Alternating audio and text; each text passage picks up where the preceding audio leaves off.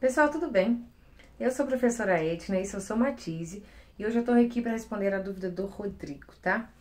É, o Rodrigo me perguntou como é que racionaliza aquela expressão, sendo que tem raiz quinta ali no denominador, e o Rodrigo não é tão difícil quanto parece.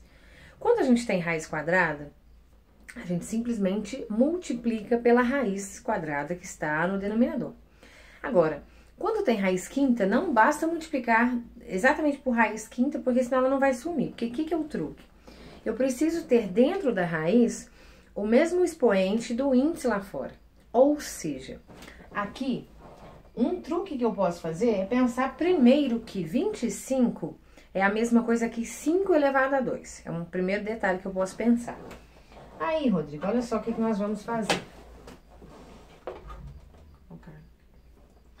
Vou arrumar isso aqui e colocar isso aqui como 5 ao quadrado, né? 25 é 5 vezes 5. Então, ó, 35 dividido por 3 vezes raiz quinta de 5 elevado a 2. Ok? Bom, aí, Rodrigo, este número tem que ser igual a esse para que eu consiga tirar a raiz. Se eu tenho raiz quinta de um número elevado a 5, eu cancelo essa raiz com esse 5 e aí fica só o número lá de dentro, tá? Então, o que, que é o truque? Eu vou multiplicar pelo número que está faltando. Como assim? Se aqui tem 5 elevado a 2, falta 5 elevado a 3. Por quê? Na multiplicação de potência de mesma base, por exemplo, assim, ó, x elevado a 2 vezes x elevado a 7. Isso é x elevado a 9. Nós repetimos a base e somamos os, os expoentes. Então, o que nós vamos ter que multiplicar aqui, esse 3 aqui multiplicando não faz diferença, tá? Não preciso multiplicá-lo. Vou só multiplicar a raiz. O índice tem que ser sempre o mesmo, senão eu nem consigo multiplicar. E eu vou repetir a base com o expoente que está faltando para completar esse 5. Então, se aqui tem 2, Quanto falta para completar o 5?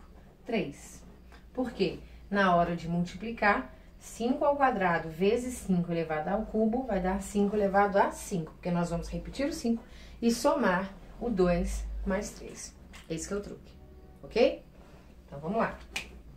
Então, vai ficar aqui. A parte de cima, ó, não há o que fazer. Eu vou repetir 35 vezes raiz quinta de 5 elevado a 3. Embaixo, 3 feio. Embaixo, vou repetir esse 3. E aí, como eu disse, Rodrigo, nós vamos ter raiz quinta de...